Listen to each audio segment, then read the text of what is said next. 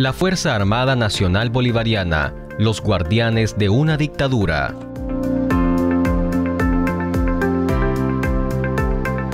La Fuerza Armada Venezolana, un cuerpo militar que se hace llamar bolivariano, se ha transformado en el sostén primordial del régimen de Nicolás Maduro, cuya legitimidad es cuestionada por la comunidad internacional.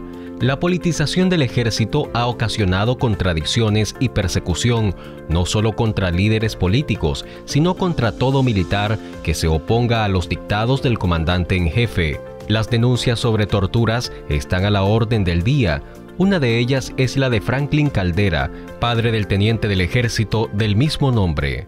Pueblo venezolano, organizaciones a nivel mundial, me están matando a mi muchacho, me están matando a mi hijo.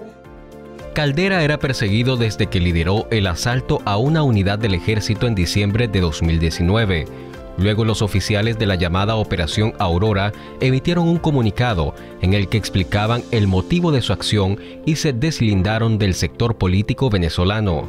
Venezuela pasa por momentos difíciles, siendo los políticos los únicos responsables de estos hechos, sumiendo al pueblo en la miseria, para que solo un reducido grupo se enriquezca a costa del ciudadano común. El caso de Caldera y sus compañeros de armas ejemplifica la desconexión existente entre los militares y la sociedad civil.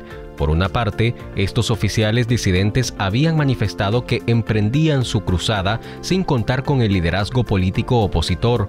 Del otro lado, una ciudadanía políticamente desmovilizada y aquejada por la emergencia humanitaria compleja parecía más pendiente de lograr un sustento diario antes que un cambio político.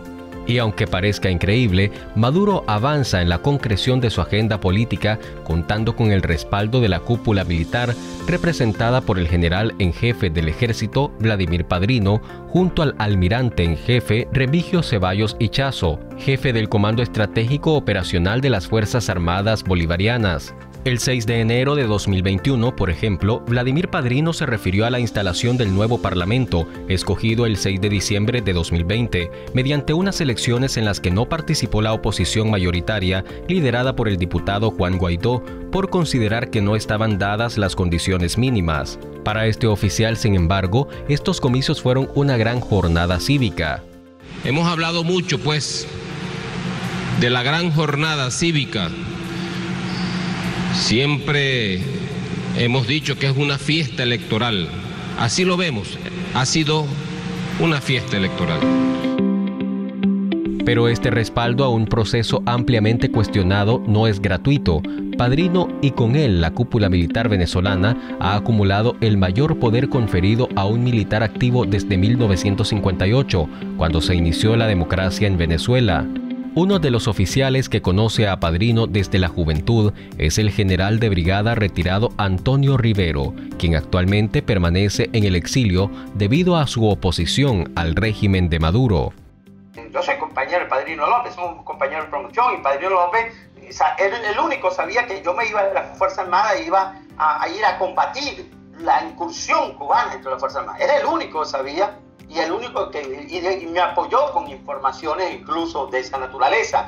Y era alguien que murmuraba, que cuando estaba el comandante de la brigada en Barina, que el encargado del cuidado de la familia de, del difunto traidor Chávez, pues me decía las barbaridades y cosas que veía desde allí, desde el propio Barina. Entonces, y la debilidad y la, la, la escasez que había en la Fuerza Armada, incluso de personal. Aseguró que Padrino y buena parte de la cúpula militar estaba involucrada en la intentona cívico-militar para salir de Nicolás Maduro el 30 de abril de 2019. ¿Cuál era la propuesta? Bueno, obligar a la fuerza que estos dos hombres principales, el SEBIN y del DGCIN, primero capturaran, a, capturaran o obligaran a Maduro a salir del país, que era la opción, sacarlo del país.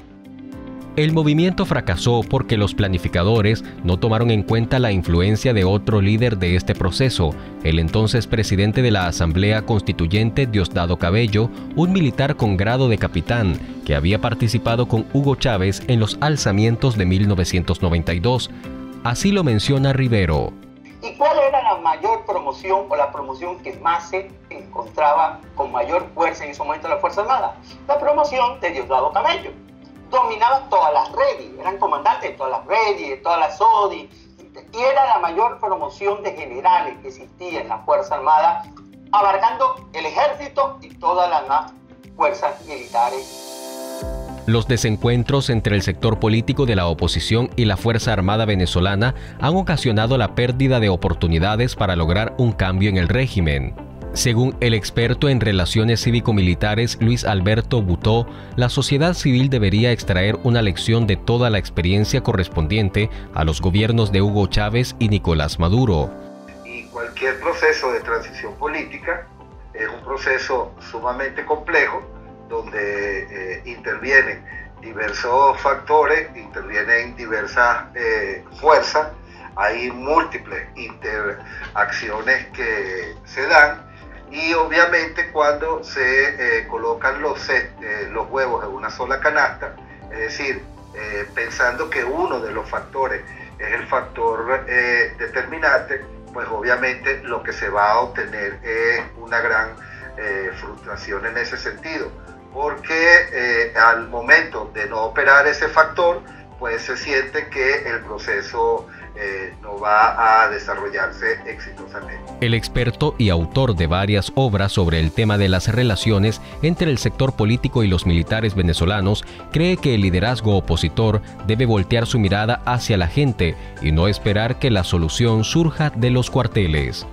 Si tú no tienes el apoyo de la gente si no tienes esa, eh, ese fervor, ese entusiasmo de la gente apoyando, apostando por ese proceso, difícilmente ese proceso se va a sostener en el tiempo. Como en Venezuela, en Nicaragua hay un sentimiento generalizado que el ejército se ha subordinado política y partidariamente al régimen Ortega Murillo, y con los años también ha demostrado estar del lado de una cúpula política corrupta que viola sistemáticamente los derechos humanos. Esta fue una producción de Expediente Público.